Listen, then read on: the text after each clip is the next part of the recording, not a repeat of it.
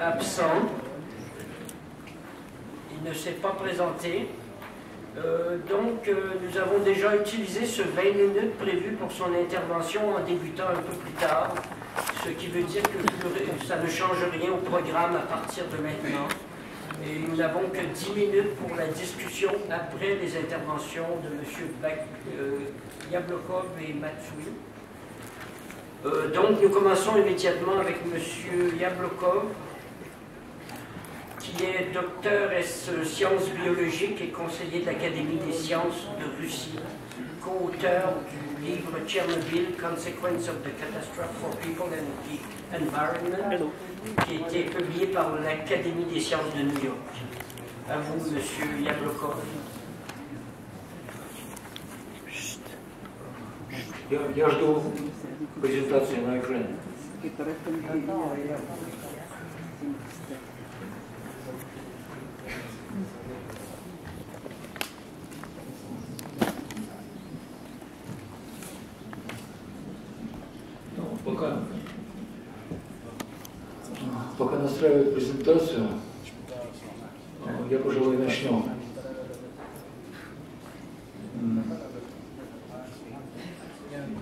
Здесь уже говорилось о том, что есть очень серьезное расхождение между официальной точкой зрения, которую поддерживает МАГАТЭ, Всемирная организация, Всемирная организация здравоохранения, Международной комиссии по радиационной защите. И теми реальными наблюдениями последствий катастроф, различных радиационных катастроф, которые ну, существуют научной литературе. После Чернобыля эти расхождения лавинообразно нарастали. Сейчас существует, наверное, в научной литературе около, ну, не меньше 10 тысяч публикаций по последствиям Чернобыля. А официальные источники используют лишь очень маленькую часть этих публикаций. Тем, которые ну, не особенно говорят об опасности. А те, которые говорят об опасности, они не используются под разными предлогами. Один из главных предлогов состоит в том, что, дескать, не показана корреляция между полученными дозами и наблюдаемой заболеваемостью. Но о какой корреляции может идти речь, если дозы, вот как здесь совершенно правильно говорилось, начиная с 1958 года, дозовая концепция, концепция риска, она неправильная. Она работает на промышленность, на защиту промышленности, а не на человека. Как определяются дозы? Вот говорят там эквивалентные дозы, эффективные дозы. И мы чувствуем, обыватели, люди, которые не связаны с этим, думают, ну, наверное, они что-то правильно там все точно определяют. Дозы определяются по э, условному э, фан, фантому. Этот фантом – это мужчина 20 лет, белый, здоровый. И вот как влияет радиация на этого белого, здорового мужчину 20 лет, вот в среднем это и считаются дозы, э, рассчитываются дозы для всех остальных. Не учитывается различие между женщинами и мужчинами. Только вот несколько лет назад предложили два фантома э, разных для равных. Следующий, пожалуйста. Э, и вот мы объединили все данные по Чернобылю, вот попытались после того, как было опубликовано исследование, здесь уже говорилось, бесстыдное исследование, которое сделано под эгидой МАГАТЭ и э, Всемирной организации здравоохранения 2005 года, так называемый Чернобыльский форум, нам пришлось, мы выступили с инициативой объединить данные другие, реальные, которые мы видим, видим в Белоруссии, Украине, России, в других странах. И была впервые издана сначала эта книжка в Санкт-Петербурге в 2007 году. Потом в 2009 году был сделан перевод ее на английский язык в Нью-Йорке, а в прошлом году она была переведена в Ки... она была следующее издание в Киеве. Сейчас готовится и через, наверное, пару месяцев будет перевод, опубликован японский перевод этой книги, вот в издательстве Иванами. А, у меня есть несколько экземпляров киевского издания, так что я могу вам потом ее показать. Следующий. А, и вот мы считаем, что в этой книге эти коллектив авторов объединяют усилия, э, подводит итоги, ну, примерно пяти с половиной, пяти тысяч различных исследований, которые говорят о последствиях Чернобыля. Следующий. А почему трудно определить последствия Чернобыля? Почему возникают вот эти различия? Одни говорят, да ничего страшного, а другие говорят, страшно. А потому что с самого начала, как и Фукусима сейчас показывает, была секретность, была неправда. Официальная секретность существовала в России, э, в Советском Союзе на протяжении трех лет. Только в мае 1989 года был специальный приказ правительства, разрешающий публиковать данные, реальные данные по Чернобылю. Три с половиной года все данные были фальсифицированы. Мы знаем теперь секретные приказы, где говорилось не публиковать, не говорить, скрывать. Это написано в официальных документах. И после этого, как же мы можем очень трудно рассчитать. Лейкемия, она появляется в первую... Кстати говоря, та же самая секретность была положена в основу так называемой японской когорты, когорты. Мы говорили здесь о радиационном риске, который международные организации рассчитывают. Они рассчитывают радиационный риск, исходя из японской когорты после, после э, Хиросимы и Нагасаки. Там тоже 4 года была секретность, не собирали данные никакие. Никакой лейкемии, никаких раков, 4 года запрещено. Оккупационные войска в Америке, э, американские оккупационные войска запрещали любые исследования в Японии. А после этого только с 50-го года началась статистика. А теперь нам говорят, давайте на эту статистику смотреть, она вот какая важная, какая нужная. Да, она фальсифицирована. Так фальсифицируются все данные, э, ну вот официальные данные. Теперь дальше, я уже говорил, трудность определения индивидуальной дозы. Как определяются индивидуальные дозы? Подсчитывается в среднем, сколько человек вдохнул воздуха, сколько выпил воды, сколько съел листовых овощей и других овощей, сколько съел мяса. Подсчитывается примерно один, там, десятая часть процента от населения Беларуси, а объединяется на, на, на все население Беларуси. Но это же смешно. Это просто, это, это, ну, если бы не было так грустно, это смешно. Потом, мы знаем, что любая радиационная авария, и Фукусима, и Чернобыль, это множество разных радионуклидов. Одни из них выброшены как йоды, э, короткоживущий радиоактивный йод, действует там в протяжении двух с половиной месяцев примерно, потом исчезает, и никто не знает, э, кто, сколько этого йода получили жители за эти два с половиной месяца. Но, кроме этого существуют десятки других радионуклидов, которые действуют в течение нескольких лет, нескольких месяцев, нескольких... А мы считаем, просто легко и просто считать э, по э, ну, цезию, э, немножко труднее по стронцию, в основном по цезию. Подсчеты по цезию, который европейский атлас радиационного загрязнения, это все цезий. Там нет плутония, там нет стронция, там нет десятков других радионуклидов, которые посыпались на нас, которые подействовали на нас, но которых мы не знаем, как они подействовали. Следующий. А, ну, поэтому вот я и говорю, что требовать, согласиться с требованиями э, МАГАТЭ и Всемирной организации здравоохранения об обязательной корреляции неточно определяемых доз с определенной, совершенно точно определяемой заболеваемостью, это научно неправильно, научно, ну, я бы сказал, ну, никуда не годится. Следующий. Ну как же получить данные? Как получить реальные данные? А вот как.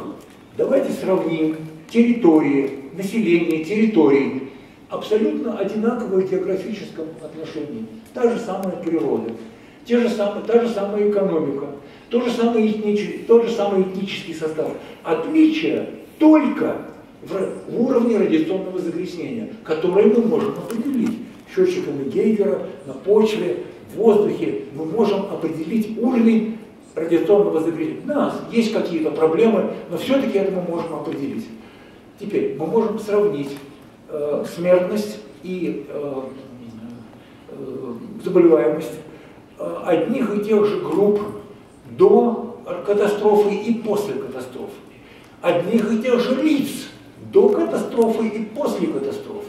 Ну и так далее. Это, и мы, все это вместе нам дает суммарно объективные результаты последствий загрязнения, радиационного загрязнения. Следующее. Что получилось? А получилось то, что не только раки, а практически все системы органов, абсолютно все системы органов показывают э, негативные изменения э, после Чернобыля. Все системы органов. Это и кровеносная система, это эндокринная система, это иммунная система, это и дыхательная система, это мочеполовая система, это органы размножения, это ну, все, абсолютно все системы органов. Следующее. Вот несколько, теперь несколько примеров, потому что доклад коротенький, надо просто какими-то яркими примерами. Вот посмотрите синдром Дауна. Синдром Дауна – это дополнительная 21-я хромосома у человека – Синдром Дауна вот с левой стороны это Белоруссия. В Беларуси в 86 году, вторая половина 86 точно резкий взлет вот этих самых э, новорожденных людей с синдромом Дауна. Точно такой же взлет в точно в то же самое время в Западном Берлине. Там еще точнее, там еженедельные были данные в единственном месте Европы, где были еженедельные данные по даунам, это Западный Берлин. Колоссальный материал, безусловно, статистически абсолютно достоверный. И после этого, смотрите, уровень даунов и в Берлине, и особенно в Беларуси, вот эта вторая прямая линия сохраняется на более высоком уровне. Вот пример вам. От чего возникло в, э, после апреля 1986 года взлет даунов. Объясните, мы, мы объясняем это, чернобыльское загрязнение. Оно комплексное, это и йод, это и стронций, это и плутоний, это и цезий, и так далее, и так далее. Мы не выделяем этого, мы говорим, влияние чернобыльского загрязнения. Другого, другого пути нет, другого объяснения просто нету. Следующее. Вот все, все солидные раки в Беларуси, то есть это все раки, кроме раков крови, кроме, кроме раков крови. Вот во всем мире уровень э, раковой заболеваемости растет. Это связано с химическими загрязнениями среды, с радиационными загрязнениями. Растет, потому что испытания, о которых тоже здесь говорилось очень хорошо и правильно, ядерного оружия, они еще долго будут у нас сказываться, еще сотни лет будет валиться сверху те радионуклиды, которые были выброшены во время холодной войны в, в атмосферу. Поэтому раки растут везде. Но вот посмотрите, как, раз, как растут раки, и таких, таких кривых есть по всем странам, Беларуси, Украина, Россия, все. Э, после 86 -го года, видите, взлет-то побольше. И вот эта разница между тенденцией, трендом и вот э, реально наблюдаем, это и есть чернобыльские, чернобыльские раки. Следующий. Вот более, более детальные данные по России. Три области. Э, э, значит, здесь Россия, вся Россия, это э, нижняя, нижняя графа, средняя графа, это в средней, сред, Калужская область, средняя загрязненность Чернобыля, не особенно сильная, и сильно загрязненная Брянская область. Посмотрите, количество раков. Точные данные, это данные, полученные из Академии медицинских наук, это не, не мной собрано, это опубликована огромная монография. Видно, как объяснить? Да только одним, только одним, Чернобылем, ничем другим. Ничем другим объяснить это невозможно. Следующее. А, среди последствий Чернобыля а, врожденное уродство. Об этом предпочитают не говорить. И я об этом говорю с болью и с кровью. Мне страшно показывать следующую картинку, но я хочу ее показать и покажу, потому что, потому что нужно, чтобы люди знали, что на самом деле происходит после радиации. Кроме того, конечно, вот преждевременное постарение, постарение. Маленькие дети показывают признаки старческие.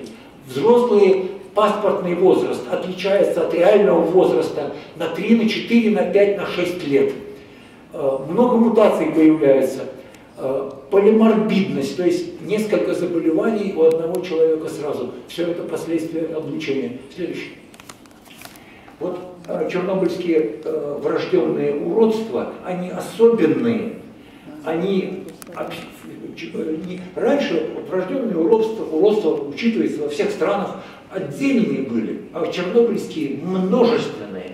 Множественные. Причем радиация вызывает некоторые очень типичные вот такие ластовидные ноги. Ноги превращаются в ласты. Вот тут на двух фотографиях это видно. Таких людей родится, родилось много, тысячи, тысячи. Специальные детские дома были сделаны и существуют на территориях наших стран для того, чтобы эти, этих детей поддерживать. Следующий. А вот данные по, очень точные данные по одному маленькому административному району Украины. Район, административный район Лугини. Одни и те же врачи, одни и те же наблюдения. И вот смотрите, как, как вот, до Чернобыля, значит, 83 год, ну, уровень а, в этом районе там около 30 тысяч человек э, проживают и ежегодно родится там около, э, скольких там, около тысячи человек.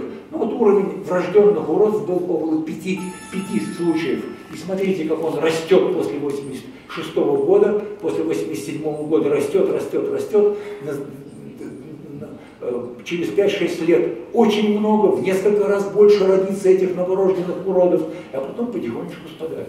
Вот эта цена Чернобыля. Чем объяснить вот этот рост маленького района, отдельного района, одни и те же врачи, одно и то же население, только, чем, только чем, ничем другим, ничем другим, кроме Чернобыля, объяснить нельзя. А официально это не учитывается как последствия Чернобыля. Вот, значит, есть данные, значит, можно было, можно посмотреть, сколько было выброшено ради чернобыльской радиации. Да, есть идут споры, но все-таки можно там физически вы определить, сколько было выброшено радионуклидов из Чернобыля. И можно посмотреть, сколько этих радио, как эти радионуклиды, сколько раков они вызывают. Поскольку чернобыльские радионуклиды были распространены не только и не столько в Советском Союзе, сколько в Европе, Советском Союзе на территории только 43%. Все остальное это Европа и Америка, а Африка и Азия, конечно. Так вот, были подсчеты, господин Мальков, физик и, эпидемиолог из э, физического, физического института в Беларуси, вот сделал такие подсчеты. Сколько раков предстоит до поколения, э, чернобыльского поколения, то есть до, до, до 2056 года, по всем европейским странам. Вы посмотрите сколько. Вот для Швейцарии там видно, что это будет 1500 дополнительных раков, и 900 из них будет смертельно. И так для каждой страны. На основании официальных данных по тому количеству радионуклидов, которые попали на территорию этой страны. Эти данные опубликованы европейским сообществом, огромный атлас есть, можно посмотреть, в какой стране сколько цезия э, попало на, э, э на, на эту территорию. Следующий. А. Three minutes. Я могу остановиться. No, no, no, no, two minutes. No, no. There were two minutes left. A minute, a minute. You guys talking. Uh, следующий. Следующий. А, нет. Вот говорят о радиационной фо... о радиофобии. И сейчас в Японии говорят о радиофобии. Но какая радиофобия может быть у мышей, крыс и лягушек, которые показывают те же самые изменения хромосом, как мы видим у человека? То есть разговор о радиофобии – это пропаганда, ядерная пропаганда, про, про атомная пропаганда. Это не, не, не серьезный разговор. Следующий. А, значит, Всемирная организация здравоохранения говорит, что общее число смертей будет э, 9 тысяч. А мы говорим, нет, не получается. Следующий. Вот посмотрите данные по младенческой смертности в Швейцарии в Норвегии, в Швеции, в Финляндии, ну, во всех странах. Посмотрите, что происходит. Что происходит после 86 года? Вот эта ровная кривая сокращения младенческой смертности, почему он везде горбики, во всех странах эти горбы, горбы. То есть младенческая смертность увеличивается в Швейцарии, в Норвегии, в Швеции, ну и так далее, и так далее, уж не говоря о России, там, Белоруссии и все остальное прочее. Дальше. А, и вот можно посчитать следующее. Вот точно посчитали, 6 загрязненных областей в России, очень сильно загрязненных, и 6 рядом расположенных менее загрязненных областей. Смертность. За 15 лет смертность около 4% возросла. Что значит 4%? Это 237 тысяч дополнительных смертей. Следующий. И вот если посчитать эти 237 тысяч дополнительных смертей на такую-то территорию, загрязненную на уровне одного кюри на квадратный километр, пересчитать это на основании официальных данных карт, сколько кюри попало на, в Европу, сколько кюри попало в Америку, во Францию там, и так далее, и так далее, то вот примерно получаются такие цифры, около миллиона. Не 9 тысяч, а около миллиона дополнительных смертей за первые 15 лет. Следующий. Two minutes are over. No, sure. Okay. Stop. Hey!